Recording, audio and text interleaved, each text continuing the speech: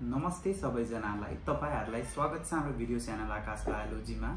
म डक्टर आकाश राउत। हिजो साँझै सिईको रिजल्ट आयो।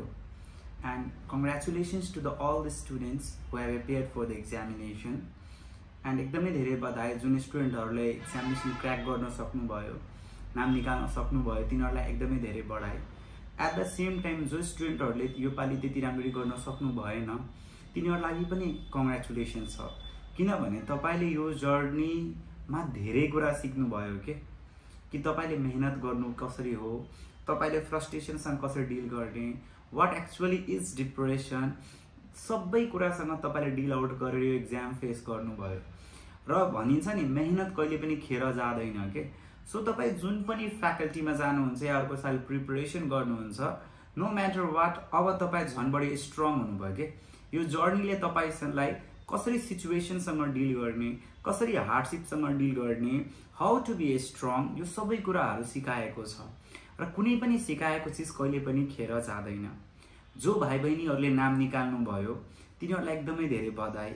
तर अहिले खुसी हुनुहोस् अलिदिन तर फेरि तपाईँको यो जर्नी गाह्रो नै हुनेछ। अहिलेसम्म तपाईँ लाइफको सबै तपाईँहरूको लागि अहिलेसम्मको लागि लाइफको यो टफेस्ट इक्जाम थियो सी इक्जाम। तर आउने दिनमा योभन्दा नि हार्ड इक्जामहरू आउनेछन् एमबिबिएसको इक्जाम पछि गएर एमडीको इन्ट्रान्स सो लाइफमा इक्जाम कहिले पनि रुक्दैन। सो अहिले नसोचिहाल्ने म डक्टर भइहालेँ। हो यो मोमेन्ट हो ह्याप्पी हुनुको ह्याप्पी हुनुहोस्। फ्लेक्स पनि गर्नुपर्छ आफ्नो happiness round every one because you have earn it guys है त। यत्तिकै आएको होइन।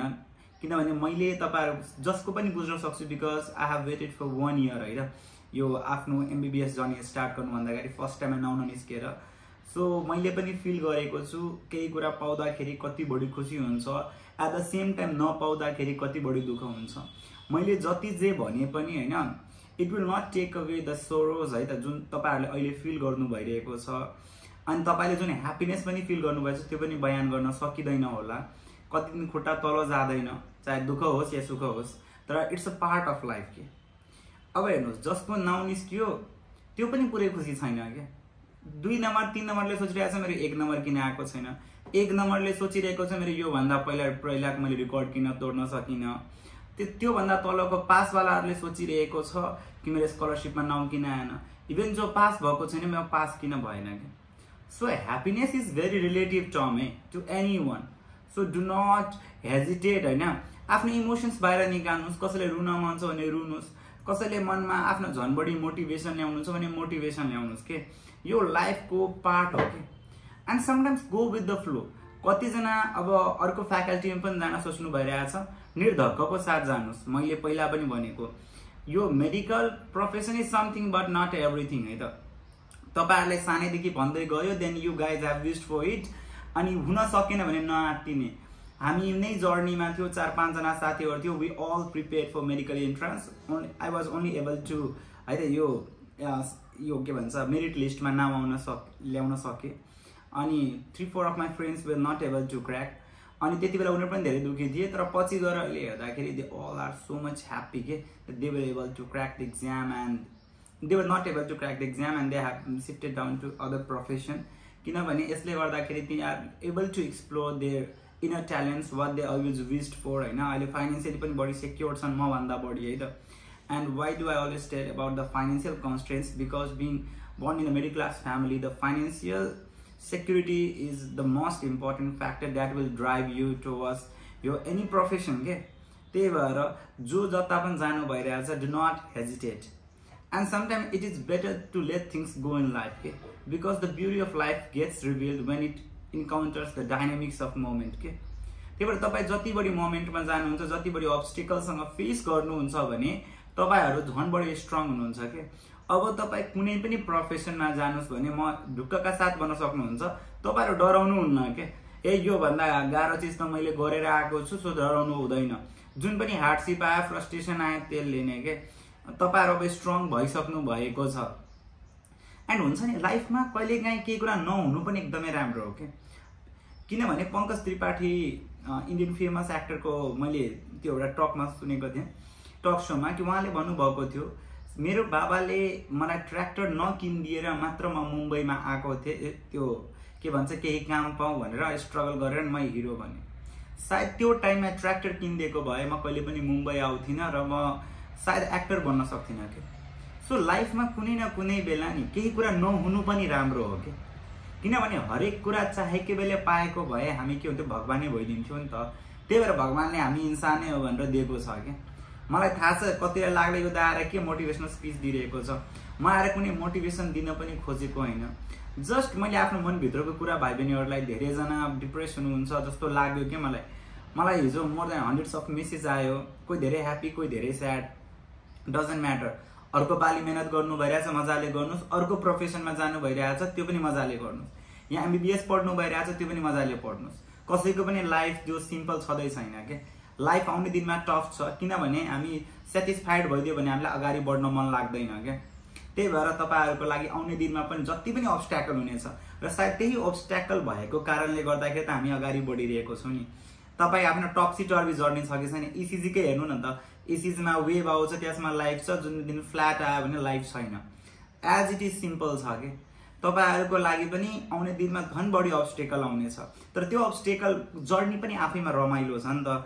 अहिले मेरो नाइट ड्युटी भइरहेछ निन्द पनि आराम भइरहेछ। आज मेरो ट्वेन्टी फोर आवर ड्युटी हो भिडियो बनाउँदाखेरि। मैले खाना लागिरहेको छु भिडियो बनाइरहेको छु। तर पेसेन्ट ट्रिट गर्दाखेरि पनि अर्को खुसी आउँछ। त्यस्तै तपाईँ पनि कुनै पनि जर्नीमा जानु भइरहेछ भने तपाईँलाई पनि त्यस्तै गाह्रो होला।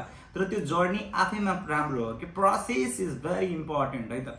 You need to enjoy the process यो प्रोसेसलाई कहिले पनि गाली नगर्ने कि यो प्रोसेसले यो हुन सक्दैन त्यो हुन सक्दैन। लाइफ में जो कुछ नहीं करते हैं ना वो कमाल करते हैं कि। यो थाहा राखिराख्नु होला।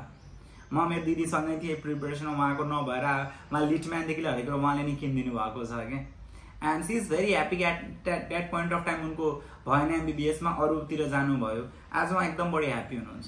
सो जुन पनि कुरा छ नि यो क्षणिक भरको लागि मात्र हो कि क्षणिक भरमा गएर कुनै नराम्रो स्टेप नलिनु होला आफूलाई धेरै डिप्रेस आफूले आफूले नपोच्ने के तपाईँहरूले मेहनत गर्नुभयो के तपाईँलाई पनि थाहा छ जुन दिन एमबिबिएस इन्ट्रान्समा आउनुभयो त्यही दिन तपाईँलाई थाहा छ यो बिस हजारजना जति दिइरहेका छन् सबै पास हुँदै हुँदैनन् क्या लेखाएर दिनुहोस्। बिस हजारजना पास हुँदै हुँदैनन्। बिस हजारजना पास नहुने भने तपाईँलाई थाहा छ नि त। फेरि यसमा के हुन्छ त? यो इक्जाम त यो होइन कि अलिअलि गर्छु अलिअलि पास हुन्छु। नाम निस्क्यो निस्क्यो निस्किएन भने त्यो हो। भनेको मतलब यो के? बिस हजारमा त्यो तिन चार सय भन्दा बाहेक के सबै फेल हो त? अनसक्सेसफुल हो त? नेभर। कोही पनि अनसक्सेसफुल छैन कि? लाइफमा हामी जित्छौँ या सिक्छौँ। त जो अगाडि बढ्नु भयो त्यो पनि जितेको छैन। र तपाईँ गर्न सक्नु तपाईँ पनि हारेको हुनुहुन्न कि? तपाईँ प्रोसेसमा हुनुहुन्छ कि? आफूले राम्ररी एक्सप्लोर गर्नु न। मैले हेरेको छु एमबिबिएस वगेरा नगर्ने लास्टमा नेपालको कडा सिए भनेर निस्किन्छन् कोही सिएसआइटीमा गाडी निस्किन्छन् कोही बिपिएचमा गाडी जान्छन् है त? किनभने देश एभ्री प्रोफेसनले चलिरहेको छ।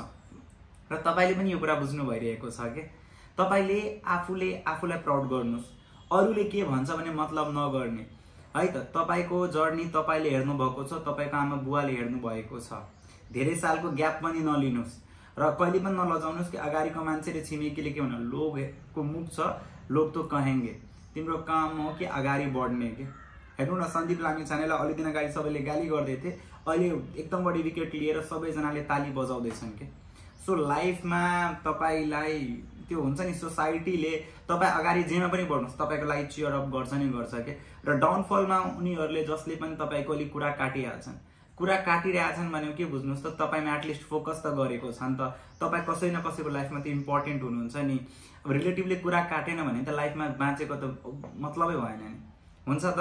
हुँदैन नि त। त्यही भएर मेरो पनि कुरा काट्छन् अहिले पनि कुरा काट्छन्। म अगाडि बढिरहेको हुन्छु तपाईँ पनि अगाडि बढ्नुहोस्। एन्ड तपाईँहरूलाई कतिजना कन्फ्युज हुनुहुन्छ कि टुवेल्भ पछि के कस्ता प्रोफेसनहरू छन्? ढुक्कका साथ भन्नुहोस् म म तपाईँहरूलाई केही काउन्सिलिङ पनि गरिदिन्छु के कस्तो कुराहरू छन् र नआत्तिनुहोस् के?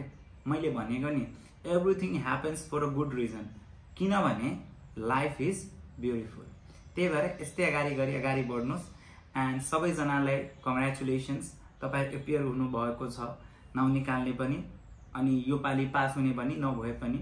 अगाडिको दिनमा तपाईँहरूसँग यस्तै नै कुराकानी हुने नै छ।